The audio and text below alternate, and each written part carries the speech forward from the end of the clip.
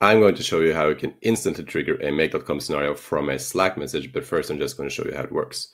So when I go over to this Slack channel right here, I can say, who is Mark Zuckerberg?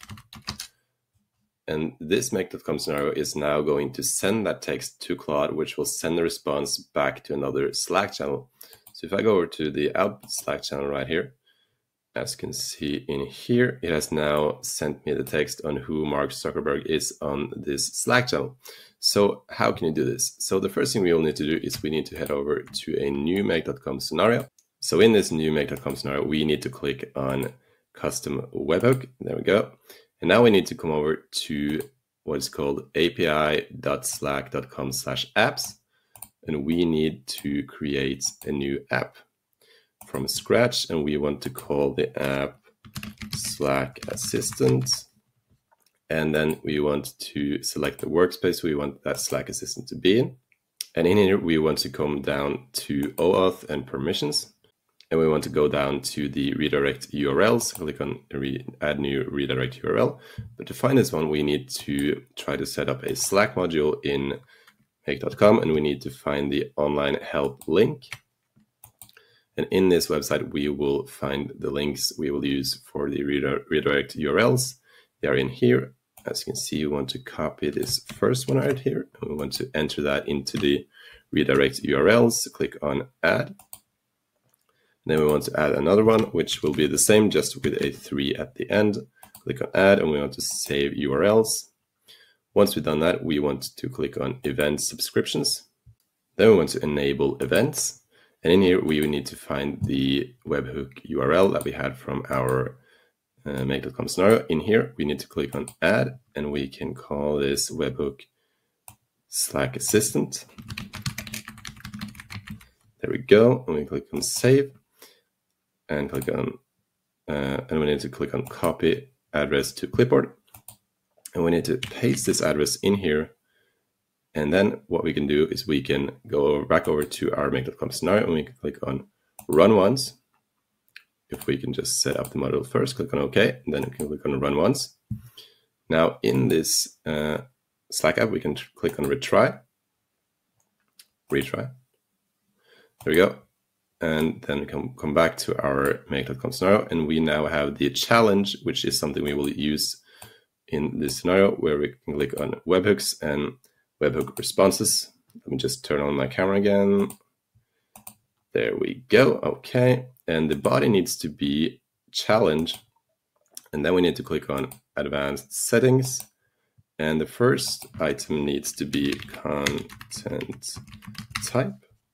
And the second one needs to be text slash plain. We need to click on OK. Now what we can do is we can run this once again uh, wait for new data, run. We can go back over to our Slack app. We can click on retry. Now you can see that the webhook is enabled and you can see that we got a 200 response right here.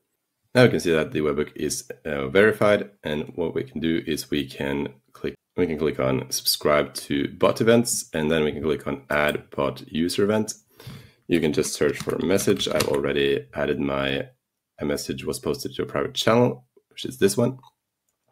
Then once you've done that, you can click on Save Changes. I just need to turn on my camera again. There we go. Okay, once you've done that, you can come over to Install App. Then you can click on Install to the workspace you have your app set up for. And you need to click on Allow then you can come over to the Slack channel you want to have this app set up for. So you can come over to the Slack channel and click on the channel name.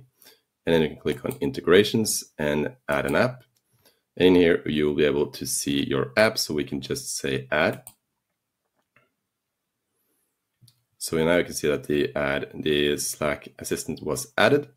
So we can go back to our make.com scenario. We can delete this one then we can click on run once and we can come back over to the app that we just see, uh, wait for new data. We can come back over to the Slack channel we wanted to use and we can say who is the richest person on earth. And we can click on send that. And if we now go back to our make.com scenario, we will see that, that we have a new message here, which is who is the richest person on earth. So what you can now do with this is that you can add a Anthropic module right here, create a prompt. You want to connect to your Claude or Anthropic uh, connection, and then you can say the max tokens is a thousand and add a new message, and the role will be user. And there will be a text content, and we need to say that the text is the text we or the message we get from Slack, which was this one, who is the richest person on earth. Click on OK. And then what we can do is we can say that we want to send this Slack message back to another Slack channel.